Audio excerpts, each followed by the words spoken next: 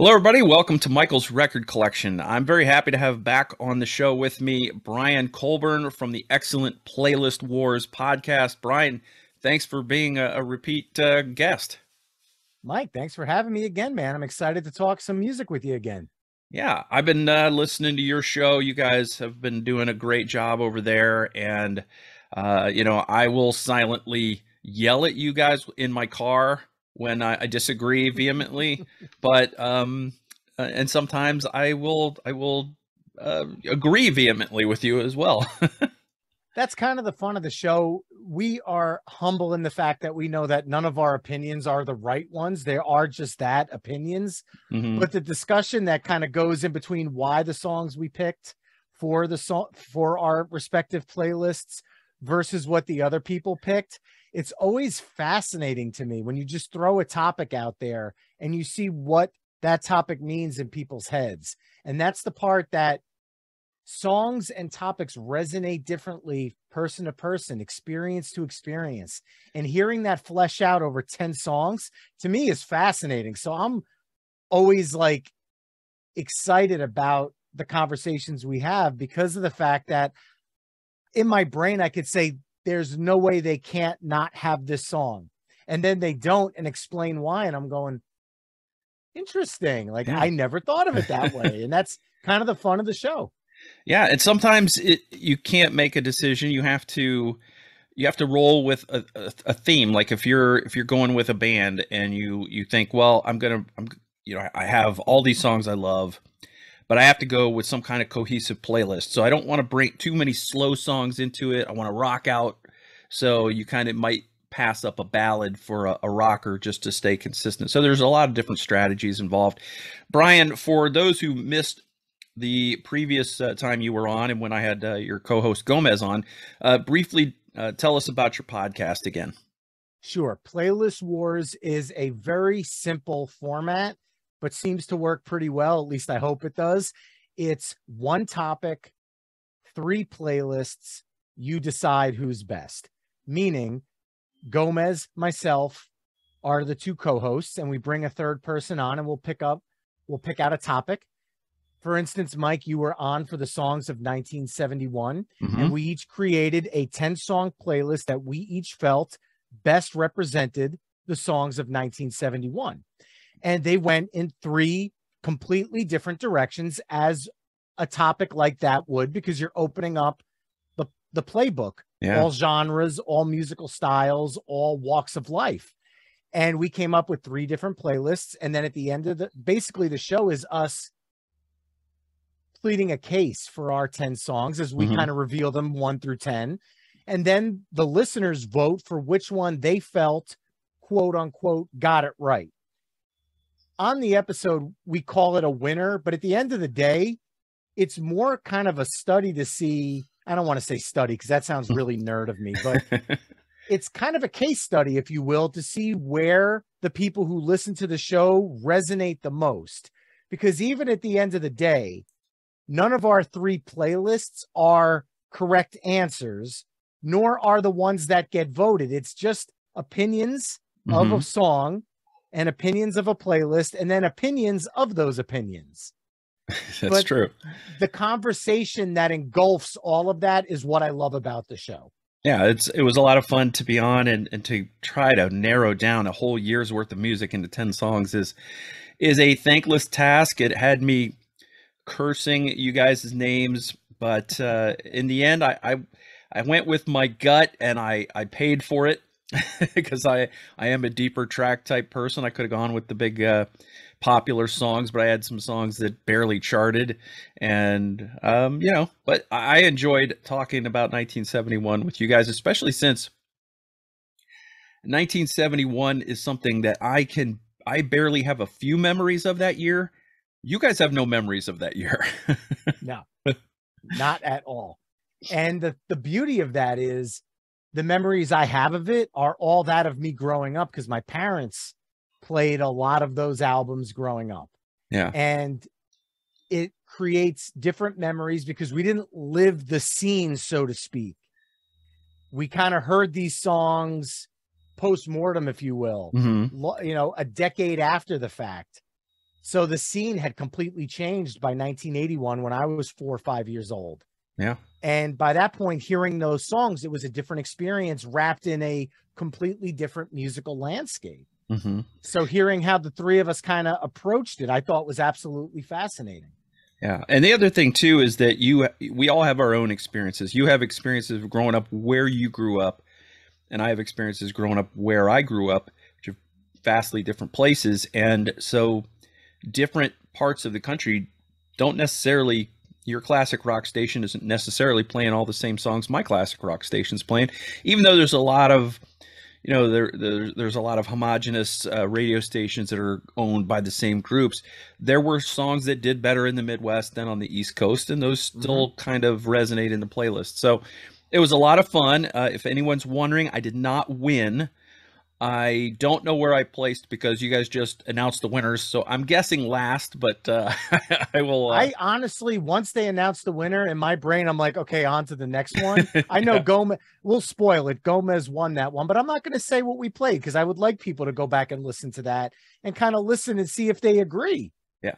But the way the voting went, but Gomez again, he's the youngest of all three of us. So to me, it was kind of a Cinderella story.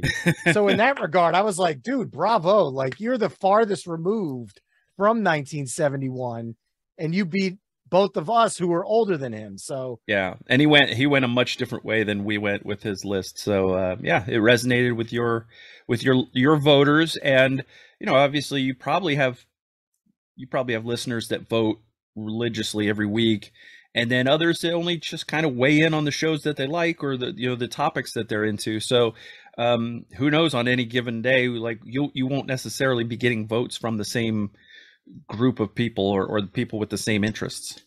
Right, exactly. It all depends on on the show. Like we did a Rush episode recently, and I was blown away watching the ticker of votes actually changing in real time worldwide like votes coming from all over the world.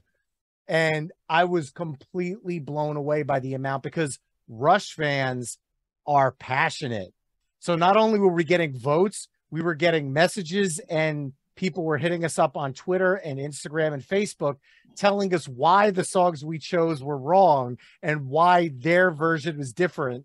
and this conversation around Rush's music completely blew my mind that week. I loved it because I was hearing people's rationale for why they thought a certain song belonged even in a different track spot than where I had it. Oh, you can have that at track five. It needs to be track four, and here's why. And that kind of passion is what I love about what we all do in this kind of music podcasting space yeah. is basically wax poetic about our favorite songs. So that's why I'm so excited to be doing it here again tonight. Yeah, we get to nerd out, and that was a that was my favorite recent uh, episode that you did with uh, friends of the show, Steve and Jerry from the uh, Something for Nothing Rush uh, fan cast, which is a great show also. So go check that one out as well. Yeah, absolutely fantastic. Those guys are encyclopedias on Rush. Couldn't say any any bad things about them. Two unbelievable guys there. And they are, and they're they're very humble. They they do a lot of research, but yet they're very humble to the point where they will tell you on their show repeatedly that they don't know anything. None of us do really yeah, at the end of the true. day. yeah. We just we're just music nerds and we we we like to talk about music. I I remember my uh my wife we were watching the uh the movie High Fidelity oh. and you know, the guys are sitting around in the record store talking about music, and my wife looks at me and goes, "That's you." And you should have responded, "That's the dream." yeah, I didn't deny it. I was like, "Yeah, yeah." I, I like to think we're not quite as pretentious, but we probably are. Just a little bit. yeah. So what we're doing today, Brian has come on the show. We're going to talk a little bit about one of our favorite uh, albums, our favorite Pat Benatar album, precious time. Look at that. Got the CD, got the LP right there. Mine's yeah, on hold the shelf. it like this. There, there you go. Mine's on the shelf. I forgot to get it down before the show. I usually do, but the the podcast listeners aren't going to know any different. But the the video watchers will see it. And um, yeah, this is Pat's third studio album, Precious Time, released July 6th, 1981 on Chrysalis Records. And it followed In the Heat of the Night in 1979 and Crimes of Passion 1980, the all difficult third album. Critical time for for Pat and she'd had some success obviously and this album dropped right before MTV so it wasn't it wasn't it get it did get an MTV boost eventually but it didn't right away because there wasn't MTV yet uh, going. It was recorded in Los Angeles at uh, Sound City Studios and Goodnight LA Studios. And so a little bit diff- uh, different change of scenery for uh, the Brooklyn born Pat. And uh, it was produced by Keith Olsen and Neil Giraldo, uh, but really by Neil Giraldo because Keith Olsen had done uh, the Crimes of Passion album, produced that. And reportedly, they weren't real happy at what they regarded as Keith just kind of blowing them off and and being absent and and Neil supposedly did a lot of the work on that album as a result. So on this one, they insisted that Neil get uh, producer credit, and he he ended up really kind of producing the album. Uh, although Keith's name is on it, and he probably did some things, but probably not nearly as much because reportedly he was in the studio even less for this album. And I think that amounted to some magic because this is Pat Benatar's most hard rocking album. And I use hard rock in quotes because she is kind of known as a rock artist, but does lean more towards the pop side of rock. But this album is make no mistakes about it, a meat and potatoes rock album for her. And it's my all time favorite Pat Benatar album. And it's mine too. And before I get into why it's my favorite. Tell me why it's your favorite. Honestly, probably just because of that. It is a rock album. I am a rock guy. It's in my blood, it's in my DNA. Mm-hmm. And these songs, they don't have the 80s sheen on them that you're going to get from Get Nervous and Beyond. That's when she really started embracing that 80s sound. Around 83, 84, a lot of artists mm-hmm. did. Eric more Clapton, keyboards. Yep. More keyboards. It was kind of, I called it the Phil Collins effect, where he kind of got his hands into a lot. Not that he did anything with Pat Benatar, but mm-hmm. I call it that because you could just tell a lot of these artists. I the one I go to in my mind is I think uh, Behind the Sun by Eric Clapton. You could just tell that that was producers driving that album, not Eric. And yeah. some of Pat Benatar's 80s stuff I felt had that vibe, but there's touches of rock throughout all of those albums. each album has a touch of rock in it. 82's Get Nervous has my favorite Pat Benatar song of all time, which is her cover of Shadows of the Night. However, in my humble opinion, that song would have made Precious Time a perfect 10 tracks because that song sounds like it was recorded for Precious Time, but held for Get Nervous because the rest of Get Nervous goes off in different directions. Mm-hmm. Precious Time is all of the same vibe as my favorite Pat Benatar song. So to me, it's not a missed opportunity because it probably didn't happen that way. But as a listener, I hear that Neil Giraldo vibe that hard rocking sound, his guitar work shining through with Pat Benatar giving a little bit more grit, a little bit more edge, mm-hmm. and a mm-hmm. little bit more rock to her voice because she could go very smooth and very sweet, which we'll talk about on this album. Mm-hmm. But then when she kicks it up a notch, she could scream with the best of them, and she has a fantastic hard rock voice, and that's why this is my favorite album of hers. Yeah, that's great. It's uh, for me, it's just very simple. It was the first one of hers that I got and you always kind of gravitate toward that first one. Your your first one usually is the one that you you bond with that means something to you because you went through more time with it. You went through, you know, it reminds you of that the time that you got it, the times that you were listening to it, and you it it just sort of cements itself in your mind. And I I know that among Pat Benatar fans, this is this is not widely regarded as her best album. It was her only number one album, but it wasn't. I've read, in fact, I read a lot of. Uh, I was reading Rate Your Music today, and there were a lot of not so nice things said about this album on Rate Your Music, which I don't get, but you know, we we're all different. Of course. If we did an episode on Pat Benatar, I could tell you my top 10 list would have several songs from this album. Yeah, for sure. Same here. So, uh, as I mentioned, this peaked at number one on the Billboard 200. It was her only album to reach number one in any country, which is hard to believe. Uh, it was number two on the Billboard U.S. Rock Albums chart, so it was one overall in the hot in, in the 200 and, and uh, number two in the Rock Albums chart. Number two in Canada and New Zealand. Number eight in Australia. Nine in Sweden. 28 in Norway, 30 in the UK, 42 in Japan, 46 in the Netherlands, and 57 in Germany. A worldwide smash hit. It was also uh, number 95 on the year end Billboard 200 that year, which seems incredibly low. Uh, yeah, it does, really. It was number 18 in the year end uh, chart in Canada, 39 in New Zealand, and 63 in Australia. Again, did very well Pat herself said on uh, Redbeard's in the studio program that it went platinum in 13 days, which is incredible. Back when people bought albums. I mean, think about that. These were physical copies at that time. Yeah, no streaming, none of that. It was, uh, you know, no downloads. It was you bought a physical copy of the record or tape. So, pretty good. Not bad at all. Uh, double platinum in the US and Canada, gold in France and New Zealand. Only two singles from this album. Yeah. Fire and Ice and Promises in the Dark. And uh, there were there were other videos. There was a video for the title track Precious Time. We'll talk a little bit more about that. But uh, you know, when I look at this album, especially side one, to me, side one is a perfect album side. We're going to talk about that. I could not agree more.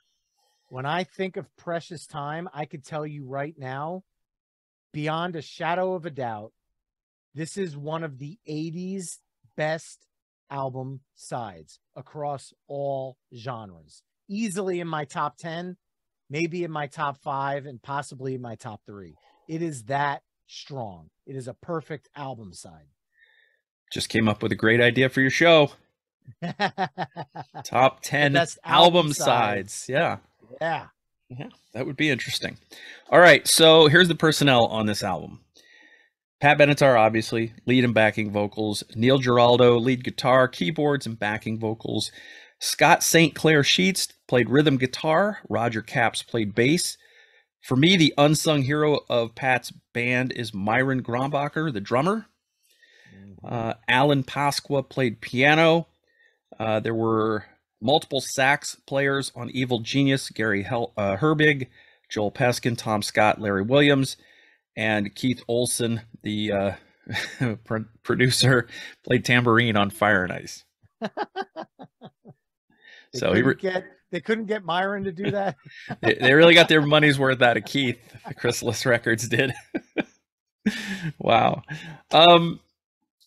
So, what do you think of this this band? When you think of of this album, I think that the the rhythm section of Capps and Grombacher for me don't get nearly enough credit. They don't. I mean, they're not household names by any stretch of the imagination. Everybody kind of knows who Neil is, and they know he's a good guitar player. Pat obviously steals the show, but for me, that that bassist and that drummer, they just put down a rock solid foundation for everything that those guys put on top of it. Yeah, and this album is definitely one where I'm going to be talking about this a few times tonight. The dynamics in this album are simply impeccable. I mean, this album is dynamic. Going from soft and sultry to an explosion to different styles between the verse and the chorus, timing changes, everything. These guys are locked in.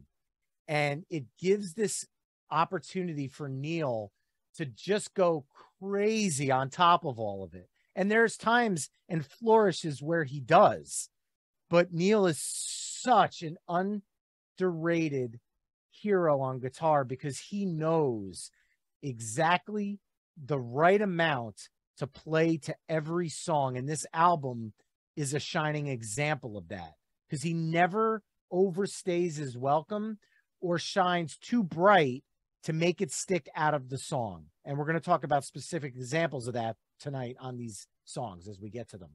Why do you think Neil Giraldo never really captured the public's imagination in terms of guitar heroes. Everybody talks about you know the same names over and over. They don't they don't typically mention Neil. Uh, they'll mention Neal Schon. They'll they'll mention you know Eddie Van Halen. Obviously, uh, the very you know the very uh, talented and and flamboyant guitar players who who are fast and, and can move across the fretboard. But Neil Giraldo is not in that conversation often, and he's just a fantastic guitar player. I have a theory as to why that might be. Total theory. But my theory on this is because it's Pat Benatar. When you think Tom Petty and the Heartbreakers, you could say, oh, Mike Campbell, an amazing guitar player.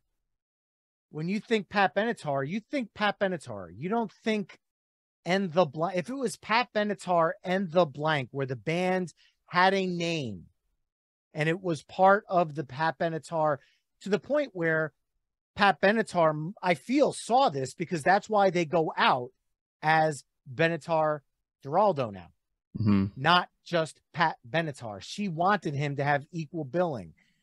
So I feel like because it was the Pat Benatar show at the height of her career, it was guitarist be damned, no matter how good it is. Pat Benatar is the star. Whereas when it's wrapped in a band name, people seem to give different credit to different people mm-hmm. where need be. When you think of a Toto, you think of a Journey, you think of these amazing guitar players, Neal Schon, you know, uh, um, oh Steve Lukather. Steve Lukather. Yes had a brain a brain just turned off there. It's, it's, it's, a Monday. What can I say? Yeah. But yeah, that they're part of a band, so you kind of get to know all the band members. And with an artist, I felt like maybe some people didn't, and that's not a it's not a dig either, but it's just a, what I'm observing is it yeah. could be a, a, possible theory of that. Yeah, I think there there could be something to that. And and if she had gone, if they had gone out on the road as you know, like Pat Benatar and the Crimes of Passion or something like that,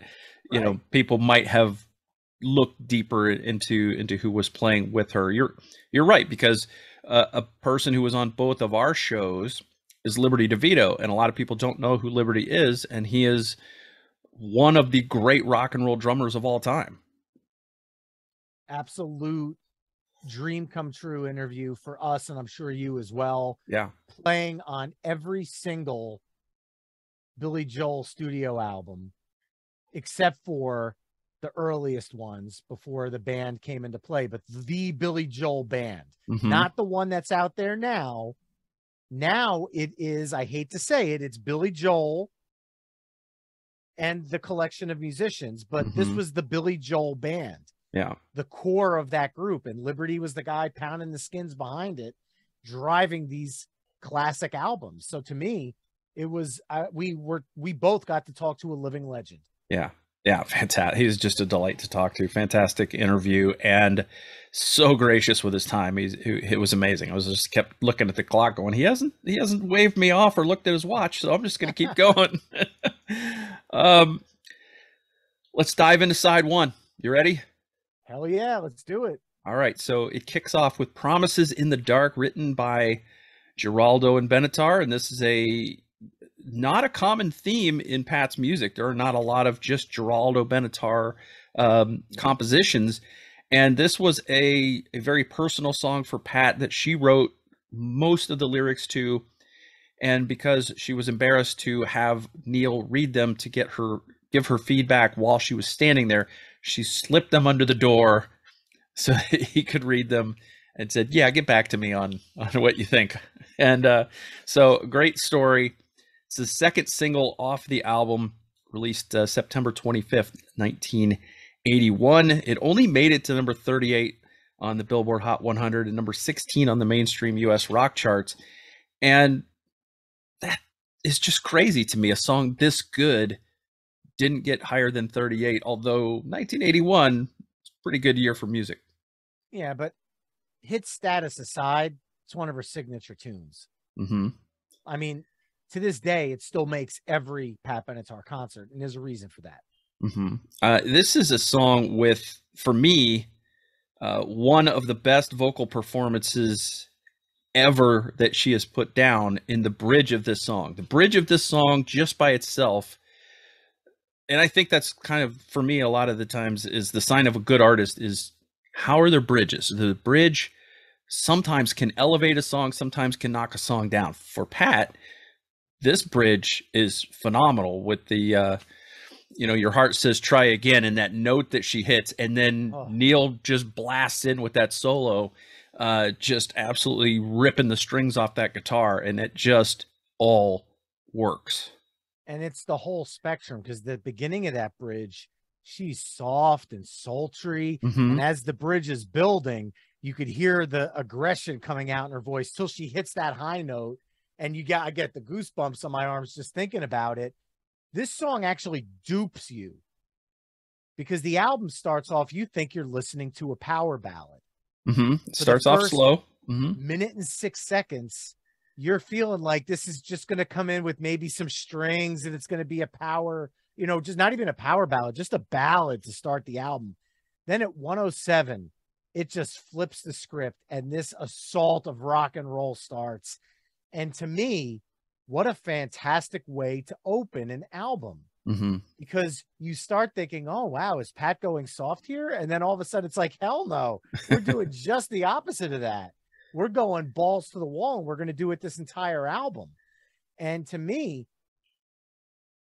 we talked about Neil being underrated, but that guitar solo, how he didn't become a mainstream discussed guitar player is beyond me. Mm-hmm. Unbelievable. And we had posted this on Twitter today that we're going to be talking about this album tonight. And two of our followers, DFO Writes and Jeff Scoble, chimed in saying this is their favorite song on the album. And to me, it's tied. It's tied for, I have two favorites that, depending on the day, one could overtake the other. Mm-hmm. So for today, in this moment, this is my number two song. But tomorrow morning, it could easily just jump right back into the number one spot. Just kind of going back and forth there. Yeah, I thought about I thought about asking you to bring your song rankings into this and I decided against it because it's it's hard to do. And I thought about my own and I I think this is probably 2 for me but only by like the slimmest of margins. Like you said like on another day it might actually be I might be more in the mood for that one. But what I love about this as an opener is it takes you on a ride. It's just a a journey and it just leaves you breathless at the end of it. It, it's it, who else puts a countdown in the middle of a song? Oh, I love that part. They count in the final d- dark in the final chorus. It gives you the feeling that it was done live in the studio. Whether it was or not, I don't know. But I would, I feel like they're all just standing around in a circle. And that's where you get that lead in the microphone. One, two, three, four. Yeah. Like it's just, man, you could feel the energy. Yeah. And I actually am glad they included that. Yeah, same. without it, I feel like it almost might have felt like the song was ending.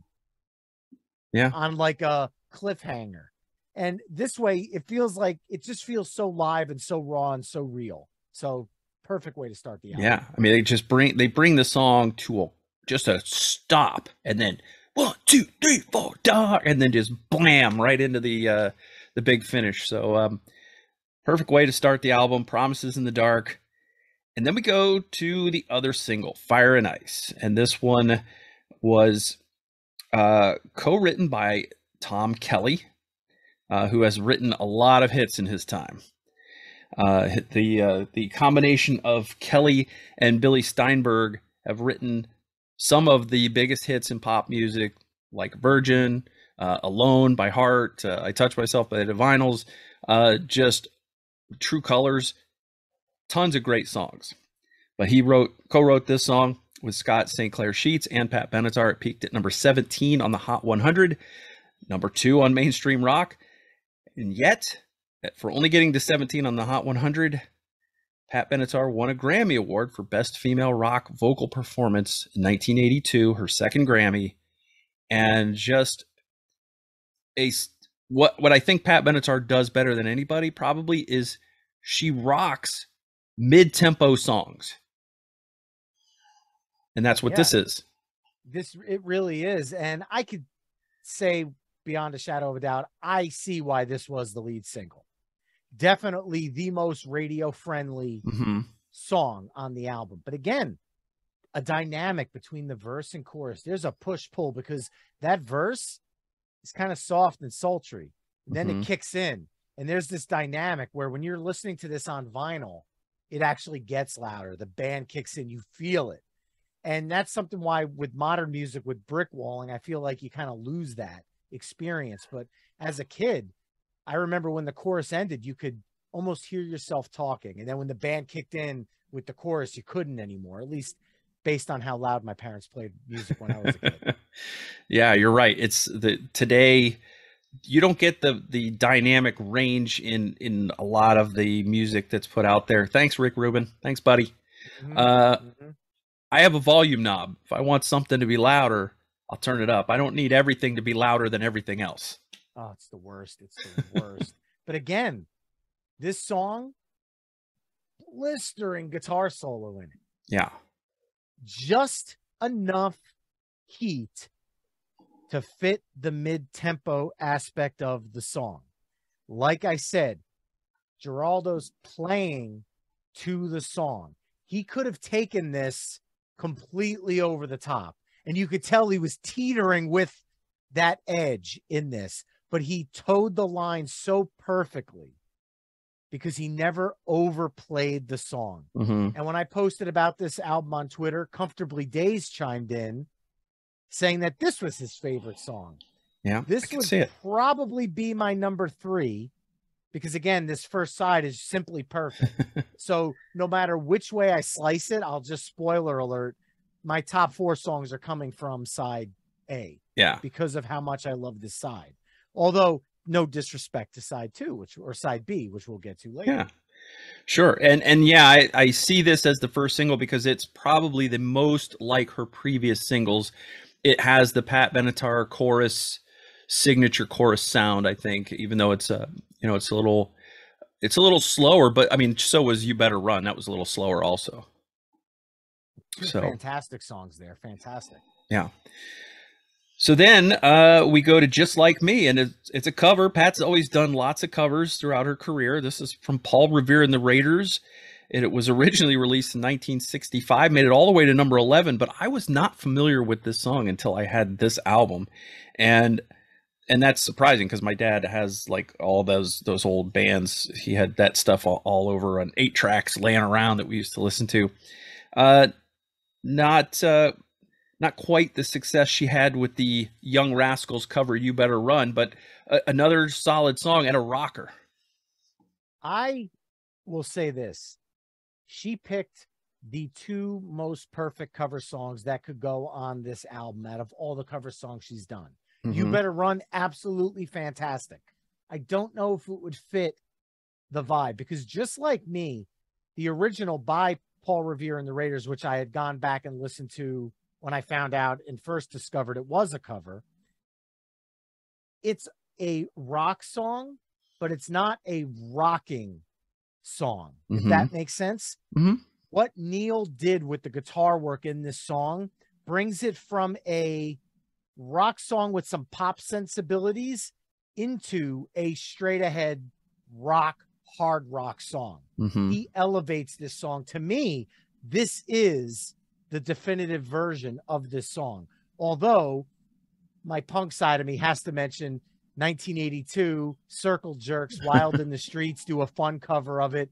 Totally different than Pat Benatar's, but to me, Pat Benatar's is the gold standard. Again, that push pull of the chorus, the, the verse is so restrained, and you almost feel like there's an intensity brewing Mhm. at the and then the chorus is when it starts spilling over the sides and the pot starts boiling over and her voice is shredding this Yeah. she's screaming it with authority and it's perfect i absolutely love it Just toeing the line with heavy metal during the choruses of this uh, Oh, this God, song. yeah. Very very heavy uh, chorus on this song. So, just like me, the third track, and then we come to the title track, and this one was written by Billy Steinberg about his mother.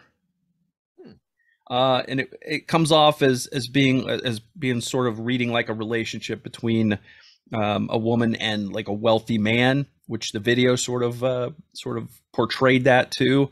Uh, this is my favorite song on the album and my favorite Pat Benatar song of all time. This is a the way she sings it, the lyrics, everything about this thing sells sells me on this song. This is um and and also I have to cop to the fact that the video helped sell this to me as well because you saw in that video Pat's toughness, but you also saw her vulnerability. She shows her vulnerability in that song as well, and it just really worked for me. Pretty sophisticated for an early MTV video. Uh, they had some green screen going on, some split screen stuff, uh, some special effects. Uh, I'm not really sure what Neil was doing with the that sort of shirtless uh, look with the uh, I don't know, he had some shirt or something over his head like a shake, and then he was playing that pink BC Rich guitar, and um, you had Pat throwing drinks and pushing a guy into the pool and flipping him off of his hammock and stuff, and being kind of violent. It was, it was, uh, it was pretty amazing. There was a lot going on in that video, but the song itself, just uh, the the juxtaposition of the vulnerability that she shows and the way she sings the the chorus and then that fantastic guitar over the chorus that riff that he plays over the chorus is amazing yeah i'm shocked this wasn't released i know the video is out there but they never officially released it as a single yeah. this is also my other favorite song on the album and with that being said Shadows of the Night's my number one. It's Precious Time and Promises in the Dark for my number two. Yeah. So if we ever have you on, let's say for a Pat Benatar episode, I've already spoiled three of the songs of my 10. Yeah. Probably, maybe, depending on the day. But this song is so dynamic and heavy because the push pull that I talked about earlier, what Neil's doing in the verse when the snare hits and he's doing those bow, on the guitar and he's making the guitar almost rhythmic with the stops he's doing, making those snare hits vulnerable because the song just kind of empties after that snare hit because the guitar is stopping on the snare. It just adds this tension to the verse. Mm-hmm. And then the pre chorus into the chorus is just step up, step up, step up. And that guitar solo, the opening of it, the beginning of it, dare I use the word, he's subdued at the beginning of this. yeah.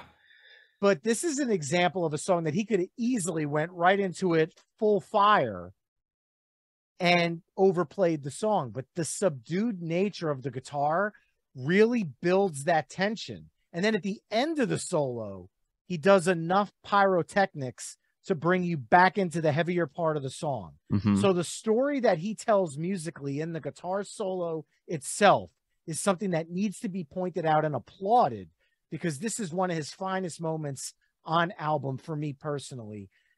And I miss the days when album sequencing was done for vinyl because this song is absolutely perfectly sequenced. I could not see this ending the album. Mm-hmm. I could not see this opening a side. No, I couldn't, couldn't see this in the middle of a side. It needs to be a set one closer, side A, whatever you want to call it, mm-hmm. and it's in the perfect spot. Yeah. So it elevates the album as a whole where it was placed in the nine songs. Yeah. It's the it's the song the band plays. I don't know about Pat Benatar when she plays live, but it's for me just the metaphor is it's the song the band plays before they break and come back for their encore. It's the one that leaves you wanting more. Yes. Definitely. So and, and then speaking of Neil Giraldo, I don't know what you call that. I don't know if it's a bent note or whatever that first guitar note to lead off that song that oh. that just kind of yeah that leads you yeah. into that staccato um, rhythmic guitar that you were talking about that first one it just sets the tone so nicely yeah and this this is a song that was put out in the 80s but feels timeless. It does. You couldn't tell me that sounds like an 80s song the way it was recorded. Mm-mm. There wasn't the overly reverberated 80s drum sound. Yeah. This sounded like a 70s rock record living in the 80s.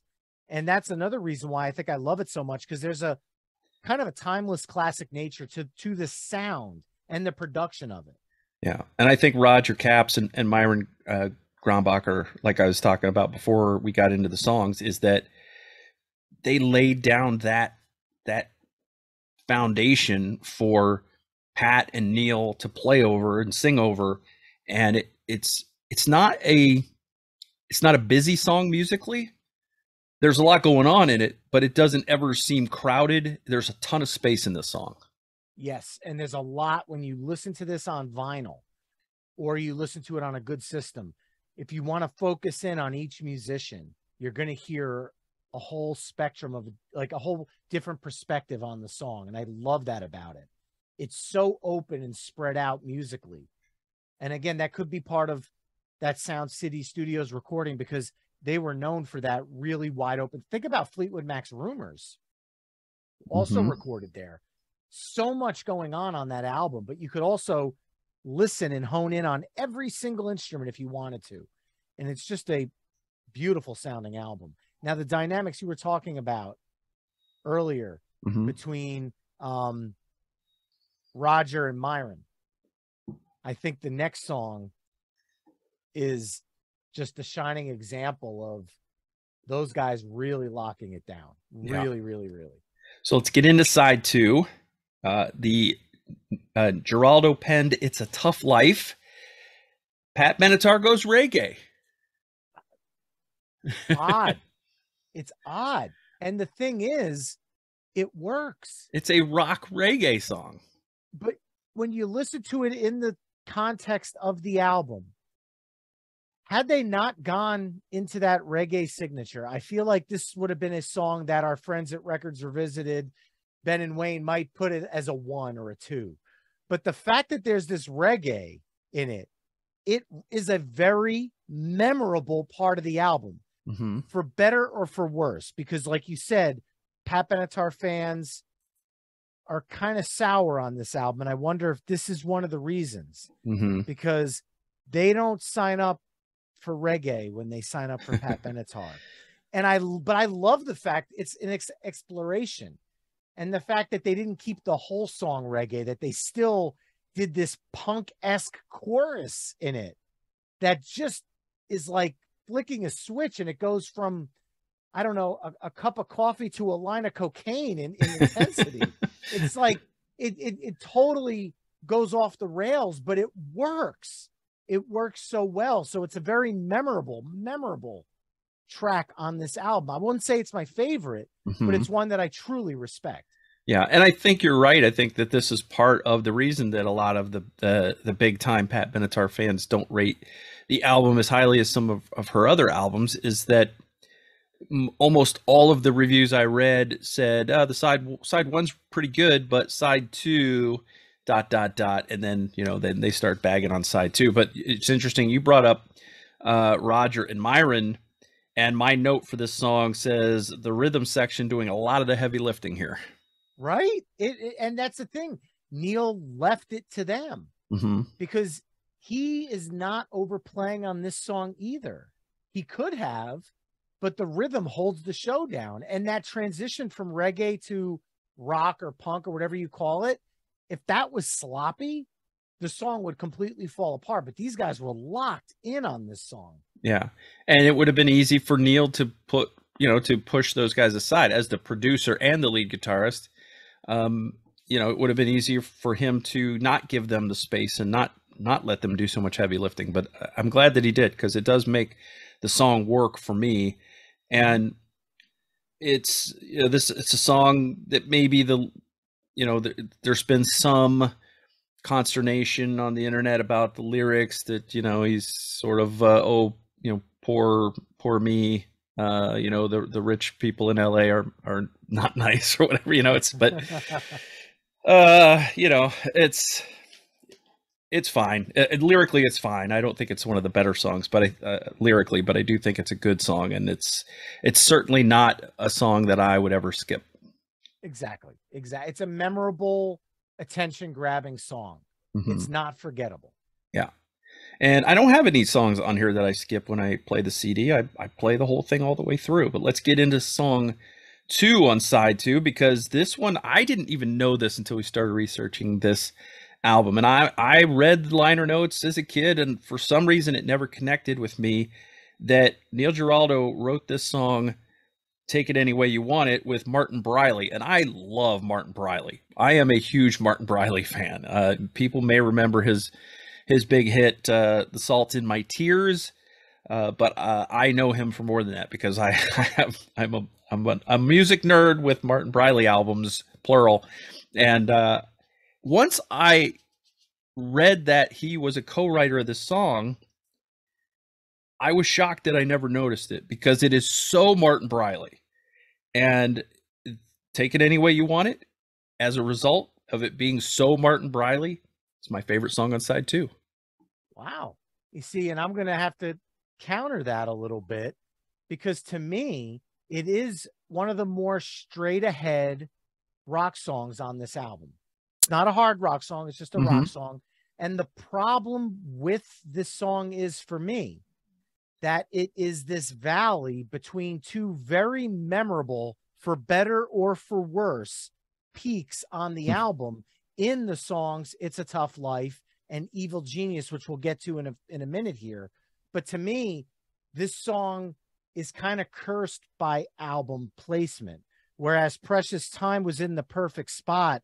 I feel like had they flip flopped Evil Genius and take it any way you want, this song would have had a better position on the album because the these two very memorable parts of the album would have been back to back and mm-hmm. this might have brought you back down to earth but when you're sandwiched in between them i feel like this song gets lost in the sauce on a listen i don't ever skip it mm-hmm. because i love this album start to finish but to me, that's the one critique I have with it. If you flip flopped this song and Evil Genius, I think you take an album that's a 9.5 and you bring it up to like a 9.8 or a 9.9.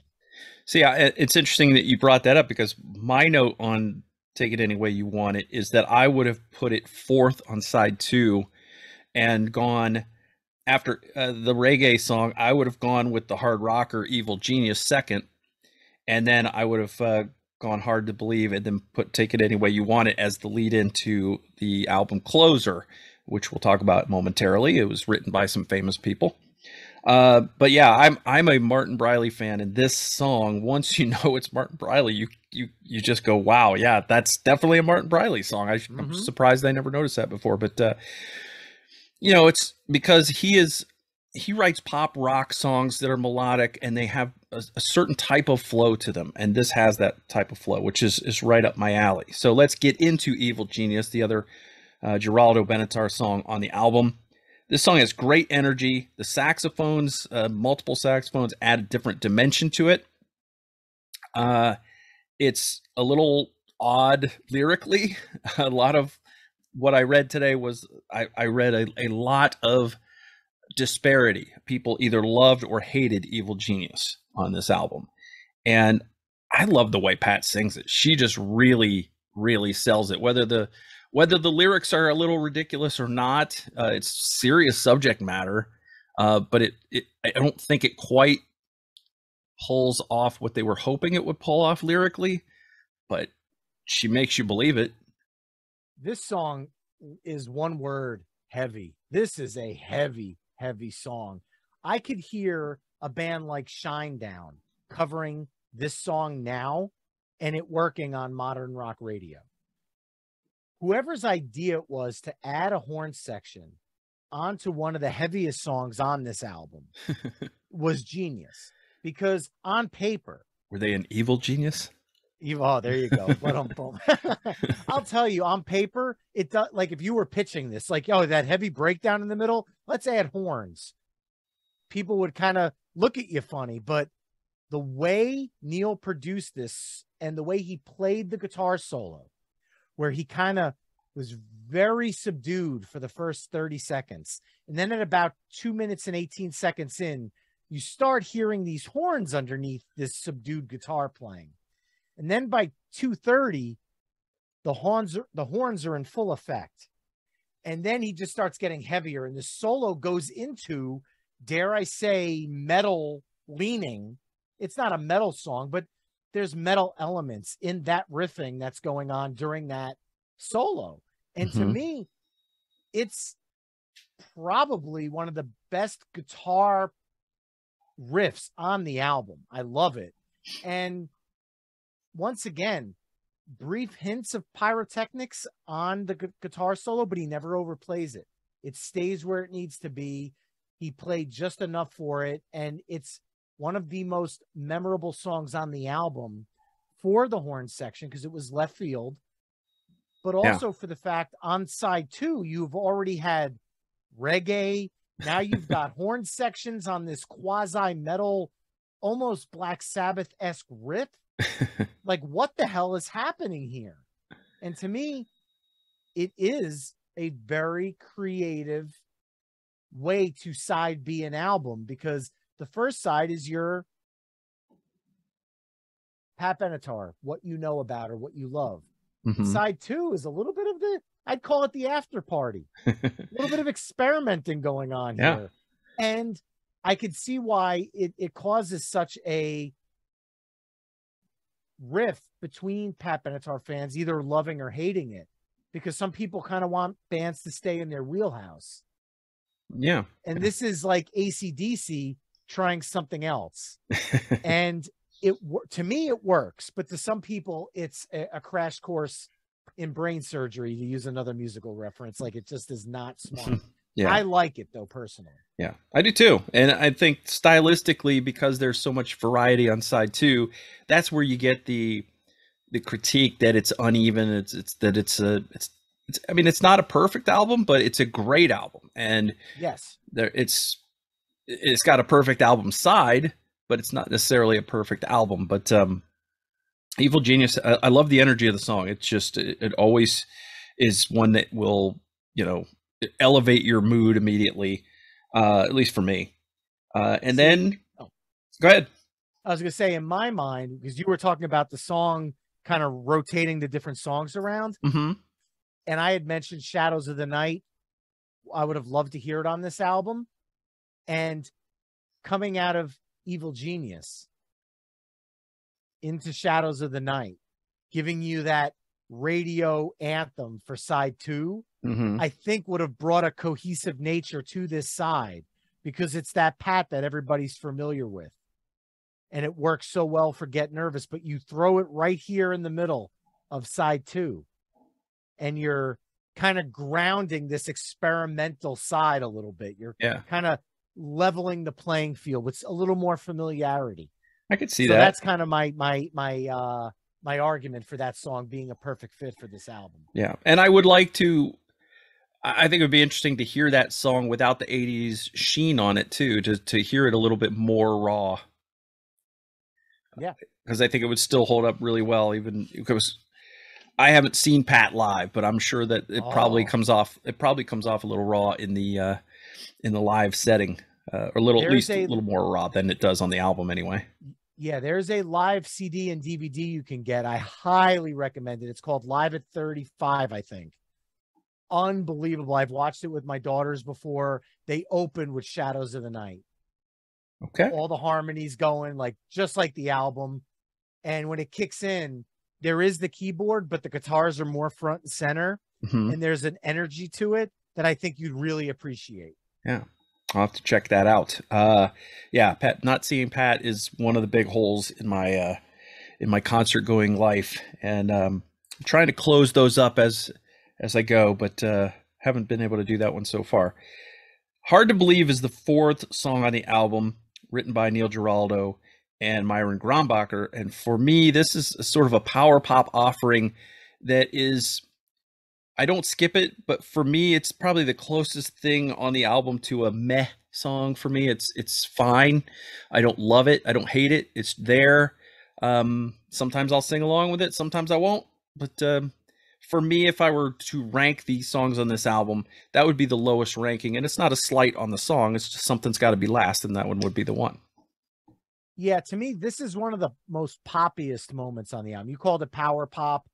To me, if it wasn't for the guitar flourishes that Neil added throughout the song, it would have been much poppier. So I feel like he kind of brought the rock in to make it fit Precious Time. But you swap this song out and you remove it and you put in Shadows of the Night. And to me, hard to believe would fit more on Get Nervous. Yeah, I think you're right. Because of that pop leaning sensibility in this song. Now, when I brought it up on Twitter, people chimed in with their different favorites. Josephine chimed in, said she got this album on her 11th birthday, calls this deep track her favorite on the album, which I thought was interesting because to yeah. me, I hear something more that would fit on 82's Get Nervous, swapping it out with the other song. So to me, if I would probably lean closer to where you are, Mike, and say that this would rank lowest on a fantastic album. So I don't hate the song, but to me, thank God there was a song after it to close the album because I feel like if Hard to Believe closed the album, it might have ended on a little bit of a want want. Yeah. Yeah. I don't think it would have been the right the right closer for sure. And uh yeah, I saw that that tweet from Josephine. I was like, oh, that's interesting. I I, I would not I, have expected that, but we all like different flavors. And I love that kind of conversation because it makes you go back. When I listened to the album right before we recorded, I put it on for the last hour just to kind of have it in the background as I was having dinner with the kids. Mm-hmm. I listened to that song a little bit closer after what she said, and it's like I could see it. I could see where somebody could gravitate to this song. Yeah. So it brought a new perspective. So I I, I appreciate that, yeah. Josephine. So thank you. And it is definitely a deeper track on the album. There's no question definitely. about that. Actually, I don't know. The next song is probably I, I never heard of this song before. The last one on the album. Yeah, side two, the the bringing the curtain down with Helter Skelter cover from a uh, an obscure band from Liverpool, England, and Beatles. a an extremely credible rocking version of the Beatles classic. I find that as much as you know, you look at the Beatles and you go, these guys set the standard in so many ways. This is one of their songs that I think I've heard several versions that I think reach the level of the Beatles or surpass it. Uh, which is a surprising thing to say when you're talking about the Beatles. But I think this is a fantastic cover and the energy that that Pat and Neil and the band bring to this song make it a fantastic album closer. What's there to, to say about Helter Skelter that hasn't been said before? So I'm not even going to get into the history of the song, but this song has been covered countless times by massive bands Motley Crue, U2, Aerosmith, Oasis, Phish, Government Mule, Soundgarden, Roger Daltrey, he was in some band called The Who. I don't know. You might have heard of him. but I might catch some flack for this, but Pat Benatar's version is the best of all of those bands I just mentioned.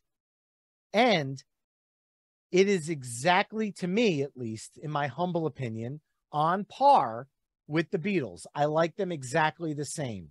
I don't know if I could choose which one I like more. I think her version with the female voice and the drive she adds to it and the energy, it's a different enough version that I could look at the two songs as two separate entities mm-hmm. and like them just the same. I don't know which one would edge out the other overall if we were to do like an all helter skelter version of playlist wars. Yeah. I don't know which one would be my favorite because to me they're both perfect versions of the song.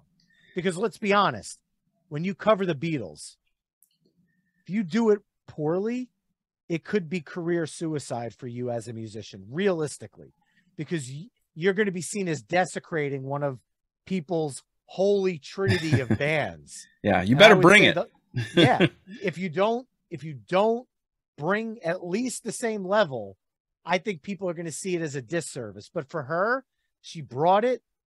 It's an exclamation point at the end of this album this is a mic drop moment when she ends this song. Yeah. And to me, it's the perfect closer. She nailed the cover songs. I said it on Just Like Me.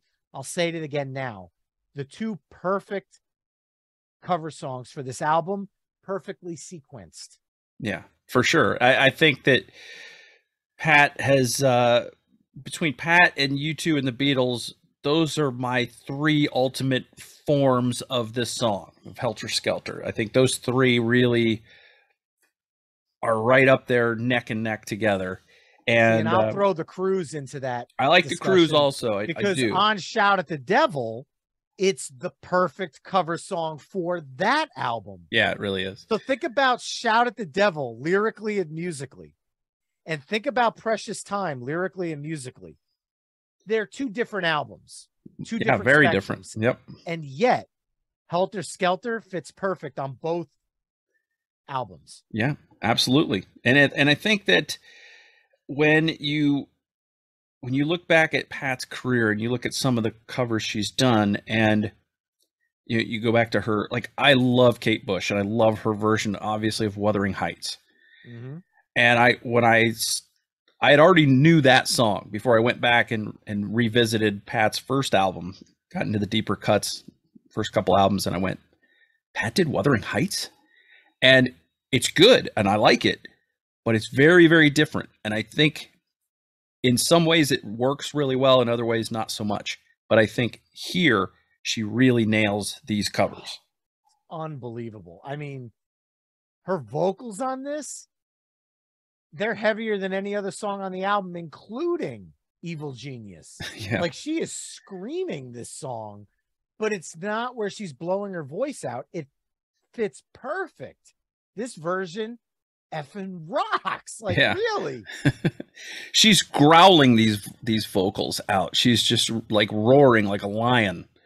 It, there's authority in them. Yeah. She's telling you what's what's happening. Yeah. She's not like offering you her opinion that maybe you should consider. She's demanding you listen to those vocals and you feel it. And to me, it's the perfect album closer for this album. She's not suggesting that you may be a lover, but you ain't no dancer. She's just telling you flat out. Exactly. it's it's great. It it, it is uh, a great way to close the album, and just one of the all time great albums in rock history, male or female. And it's criminal that she's had to wait so long to get in the Rock and Roll Hall of Fame. oh God, yeah. Uh, but that's at least getting corrected. And this album, for me, it rep- represents to me the pinnacle of her work. She's done fantastic work before, fantastic work after, but for me, this one hits the sweet spot. Again, I know I'm biased because it was my first album by her that I owned, and uh, you know, when you're when you're a kid and you're growing up and you get an album, you listen to it, you don't have like, oh, okay, I get another paycheck coming up next week. I'll get another album and then another album and then two more from Amazon and put this one on the credit card. it's like you've got a finite amount of music and you live with those songs and you play them over and over and over and over and and they become part of who you are. And that's what this album did for me. Well, Mike, I have a question for you then. At the induction, we obviously are not privy to any of this information. Does she choose a song from Precious Time? And if so, which one does she choose in her inductee performance? Because they do three, maybe four songs. Let's do some prediction time here. if she does a song from here, I feel like if I were a betting, if we're going to put money on it, I feel like she would go Fire and Ice because it was the bigger hit and got her the Grammy. But I would prefer if she did Promises in the Dark because it is a it's a Giraldo Benatar song. It is a very personal song for her. It was, you know, she was just still a fledgling lyric writer at that time and this is a personal story for her and it's an amazing song one of her best one of her absolute best to to the point that sometimes i would rather hear it than my favorite pat benatar song so that's the one i would i would probably think that i would like her to play because i don't expect her to play precious time um but fire and ice would be the one i would bet that she would play from this album Yeah, Mike, I think you and I are in perfect lockstep. Although I don't believe she will play anything from Precious Time. If she did, I think she would go Fire and Ice first. I'd rather her Mhm. do Promises in the Dark, but if I were a betting man and there were Vegas odds, I would say Heartbreaker, Hit Me With I mean, Your Best, best Shot, shot. hmm maybe Invincible, or Maybe um, Invincible. We Belong as the third song. Like there's I don't see her doing Shadows of the Night. I don't see her doing All Fired Up. I see her kind of staying in that era of you know, the legend of Billie Jean. Mhm. I could see that. Um Pat, if you're listening to the show, I would uh, I would appreciate if you do La Belle Age. oh, there's a good one. I'd like to hear Sex as a Weapon, but I love that. I love that song too. Yeah, Again, that's a good Mike, you need to go. You need to pick up that live DVD. There's another great version of Sex as a Weapon on that, and some cool stories that Neil tells on stage as well about him writing uh, eight six seven five three zero nine. Some, some fun anecdotes in it too. So Great. I um I took some grief on Twitter for saying how much I loved the um the album uh Seven the Hard Way. really, Yeah. why? People were like, "Oh, that's not even one of her best." I'm like, "But she's got there she's got like six better so- better albums than that." I'm like, "Mm. "My mileage may vary. I I think that's a very strong album, but what do I know?" I mean, God, I'm I'm pulling it up right now. I... Hold on here. I I mean, it's Invincible, Sex, is a Weapon, great. La Belle Age is Obviously, fantastic song. Invincible was massive. Yeah. I think this is the real turning point where after Get Nervous, then you had Tropico, Tropico, which was leaning more 80s. Seven the Hard Way was all in the 80s bucket. And Mhm. I feel like they started to pull back out with Wide Awake and Dreamland because All Fired Up was them kind of trying to go back to the Mhm. rock sound. So I feel like between Tropico and Seven in the Seven the Hard Way, it really was kind of going much more pop. And then they pulled it back. And then obviously the 90s output, which is very underrated, very underrated. Her 90s stuff is fantastic. Yeah. Um, I'd love to hear her revisit True Love, but I know that's not the that, that, that would not be a Grammy performance, but that's an amazing album. Yeah. Yeah, that's definitely a that was definitely something that she was at a point in her career where she said, "I want to do this, so I'm going to do this." And Yes. and I'm going to do this uh and if it sells it sells, if it doesn't it doesn't. The only thing I'm surprised is she hasn't had a studio album in 19 years now. I would love to hear more from them. yeah, I would too. It's uh it's unfortunate because a lot of legacy artists there's there's a lot there are multiple schools of thought. There's there are well, there's Tears for Fears, who I just recently saw, put out a very strong new album of songs and played almost the whole album in their live show. Wow. There are bands that will put out new output, but play one song maybe of the new song at their, at their shows. And I'm thinking of like Night Ranger. Uh, Def Leppard, I think, played two or three from Mhm. their new album on this big tour they're on. yeah. Which to and- me, a stadium tour, that's a lot. Three songs in a stadium tour with a four bill. Yeah. Yeah. That's pretty good. And then there are those that just we're just going to go play the hits because that's what people want to see and want to hear and um, we're not going to go and worry about writing new songs. But um so there's a lot of different schools of thought and you know none of them are necessarily right or wrong, but um you know it, it is unfortunate when you're a fan of a band that decides yeah we're not going to put any new albums out we're just going to go keep playing the playing the hits and and uh, making a living as a touring band and sort of give the people what they want, which sometimes people don't know what they want, Brian. Well, I Uh, think what it is, Mike, is they're waiting for you to see them before they put a new album out. I think you're the one holding this whole thing up. Well, So I go definitely, see them live. yeah, I got to fix like, that. We've done it. I gotta fix that.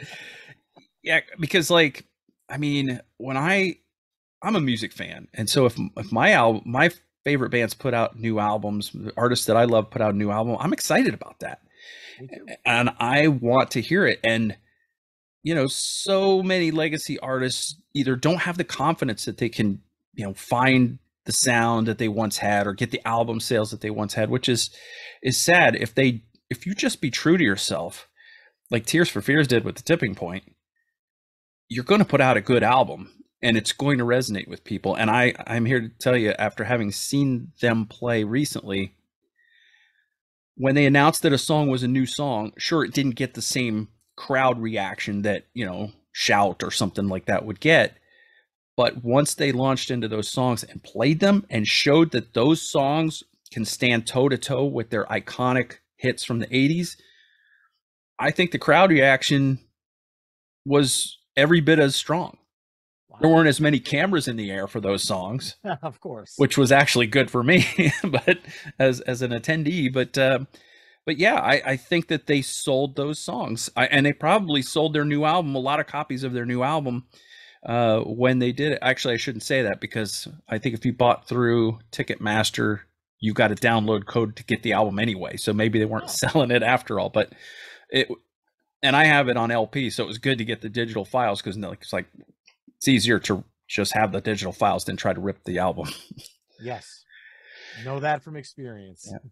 But uh, yeah, so I, I think that yeah, it would be great to have more Pat Benatar music, and I think they certainly have another good album in them. I would say so. I would hope that in 20 years, considering some of the great songs they've written, that at least a few have gotten penned. I would hope. I would hope. yeah. And who knows? They probably have something to say from the last two decades. Fingers crossed, Pat, if you're listening. All right. So have we covered everything we need to cover, Brian, for this uh this Pat Benatar Precious Time special edition of Michael's record collection? I would say so. I think we covered this album pretty well. And if people are out there going, wow, I, you know, haven't heard this album yet, or I haven't listened to this album in years, go back and give it a listen because it's a lot of gems in this one. Really, it's a truly fantastic album. yeah. To finish. And with uh, apologies to my friends Ben and Wayne, this is an album that should be revisited. This is a record that should be revisited and, and revisited often. Yeah. So uh, Brian, why don't you tell people where they can find you and your show online, and and more importantly, because we didn't bring this up before, your music. Oh, okay. Well, thank you. You can find Playlist Wars at playlistwarspodcast.com. That's where you go. You can see all of our episodes and vote in the latest round of 10 episodes after you listen, of course. Don't just randomly go and vote for people. Even though we I appreciate it if it comes my way by all means, but regardless, listen to the episode first and vote with an opinion. We also have a Patreon page at patreon.com forward slash playlist wars, which we offer some early downloads and special uh, perks for people that support us there. You can find us on social media at on Facebook and Twitter at Playlist Wars, on Instagram at Playlist Wars Podcast, and like Michael's record collection, anywhere you listen to podcasts, Apple iTunes, Spotify, Amazon, Google, we're everywhere you can find us. Musically, thank you for that, Mike. I can be found at briancolburn.com. I've got my album posted there digitally. Unfortunately, CDs are no longer available, but what I did is I put a 40 song mix of all the songs from my albums up on my Bandcamp page, which is bandcamp.briancolburn.com. 40 songs, 10 bucks, all original music I've written over the last two decades. And it's stuff that acoustic leaning, very much in the vein of Tom Petty, somebody we've talked about, you and I, mm-hmm. offline since we've gotten to know each other. It's something we both share a common bond with. And it's definitely an influence of mine, I think, comes out in some of the songwriting that I do. Yeah. And um, I know you're doing some live shows with Colburn and Company. Are you? Do you guys have a Facebook page, or you just throw stuff out from your personal Facebook and Twitter? Oh, you can find us at Colburn and Company on Facebook as well as Instagram. Okay, cool. And then on Twitter, I am just at Brian Colburn, and that is where I talk about all the shows, some podcast stuff, and then I complain about the New York Giants anytime that's uh, necessary, which over the last few years has been a lot. He really does. That's great. All right. Uh, Brian, thank you so much for being back on the show and uh, talking a little Pat Benatar with me and giving me an, uh, an excuse to listen to this album again over and over a few times. And, um, you know, I'm going to certainly have you back on again to talk about another artist in the future because Michael's record collection doesn't stop growing. No, well, I want to thank you, dude. It's an absolute pleasure and honor to talk to you. I have so much fun on our conversations. Love talking music with you. Love the friendship we've built over the podcasts over the last year and change.